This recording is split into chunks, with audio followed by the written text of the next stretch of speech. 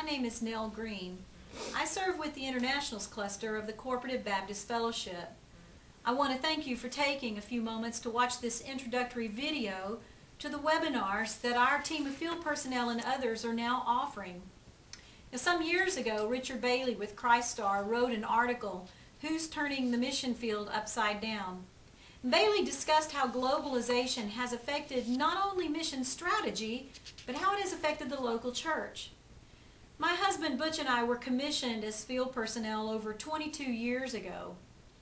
Over time, as we would come home from the field, we couldn't help but notice how home had changed. We would go through airports and malls to discover that the people we were reaching across an ocean were right here in North America. Who's turning the mission field upside down? God is. There's a new reality in missions, a new learning curve, a new paradigm. The reality is that field personnel are no longer the only ones best poised to join God in this new topsy-turvy mission field. You are the church. Today, it's not only the major urban areas where we hear virtually every language in the world. It's in our small cities and towns. No longer are field personnel the church's window to other cultures. We encounter other cultures right here. Internationals go to school with our children. They run the grocery store on the corner or the little motel on the interstate. They own the local radio station. There are our patients, our doctors, our nurses. Our North American world of missions has turned upside down. What in the world is God thinking? Well, we know that God never changes, but God does move with the times. While his ultimate purpose of calling people to himself has not changed, he is accomplishing it in new ways.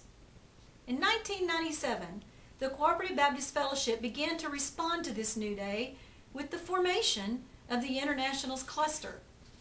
Our team of field personnel realized that if we were going to ask the church to become the missionary to this new mission field, then we needed to be available to help churches and individuals learn the same skills that we've learned over the years. And that's the purpose of these webinars. We would like to provide you with training that will help equip you for this new day in missions. We're offering seminars on Islam, on discipleship of internationals, on these changing paradigms in missions, on social justice, on different aspects of ministry to the Latino community. We also have quite a few seminars in Spanish for Hispanic congregations, as well as a few that can be offered in French. But that's not all.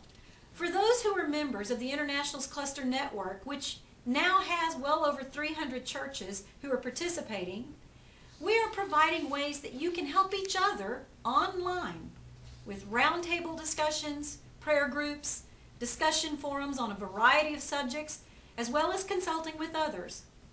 I hope you'll take the time to go to www.cbfinternationals.org and look at the different webinars that are being offered.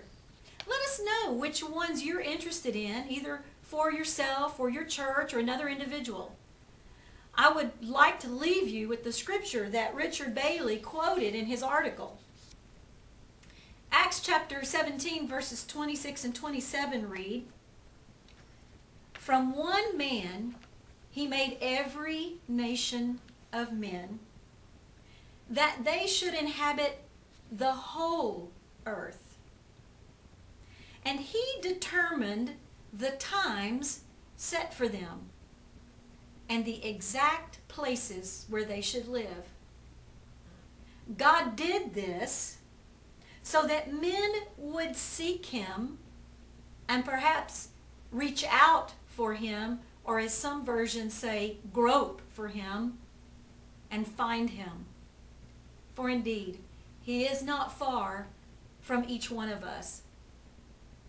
You no longer have to cross an ocean to be the presence of Christ amongst the unreached. Who's turning the mission field upside down? God is.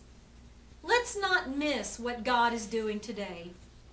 We look forward to hearing from you, and we pray for God's blessing upon each one of you as you minister to the nations.